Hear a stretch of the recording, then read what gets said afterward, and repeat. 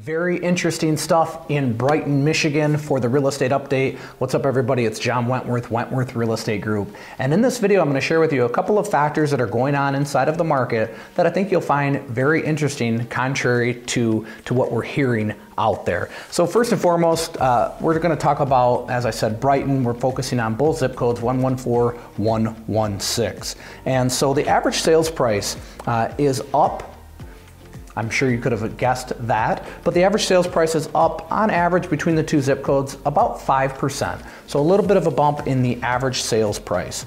The number of homes for sale, and this is what's really interesting uh, because I know it feels like there's very little inventory out there, but the number of homes for sale in uh, these two zip codes is up on average about 2%. And when we look at the pending sales, it's up about 1%. So the same number of homes are selling in 2022 as they were in the first part of 2021.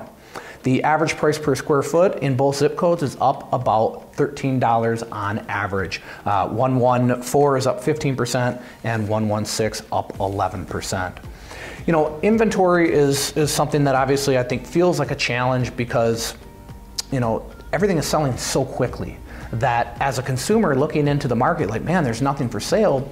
But again, as I said, the same number of homes are going to sell in the first quarter of 2022 as they did 2021. But the big difference is the average days on the market. And that's why I think that it feels like, well, heck, there's John, there's nothing for sale because they're selling so much faster than they have in the past.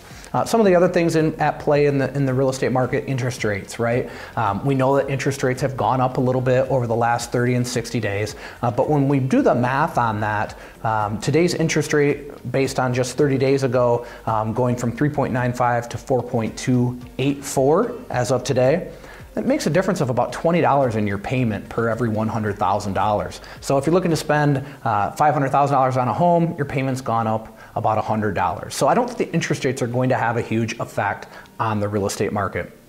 Um, what I can tell you from, from what's going on inside of our business, we're off to an amazing start in 2022, um, over a better start than 2021, uh, and the data is kind of saying the same thing here across the board in the market. So 2022, I believe, is going to be an, a, a wonderful year in real estate. There are obviously a lot of things going on in the world, but what we can control, what is happening inside of our, our own backyard, everything looks very positive uh, on the real estate front. So if you're looking to make a move in 2022, obviously we would love the opportunity to serve you and uh, come visit us downtown Brighton.